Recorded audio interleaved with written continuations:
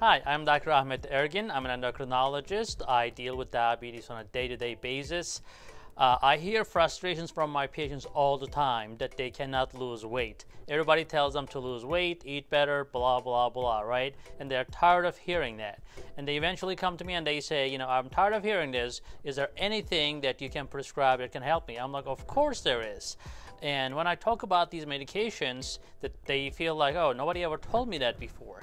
Uh, so, well, I cannot really answer that why nobody told them, but I can tell you one thing that I can give you medications that can really help you with the weight loss, reduce the heart risk uh, in terms of cardiovascular risk reduction from heart attacks and strokes, from heart failures, etc.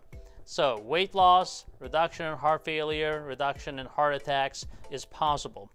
Now, you're gonna be probably asking, are these medications are expensive? Yes, they are, but but we have a great team of a pharmacist and a medical assistant team that we do everything we can to get your price down.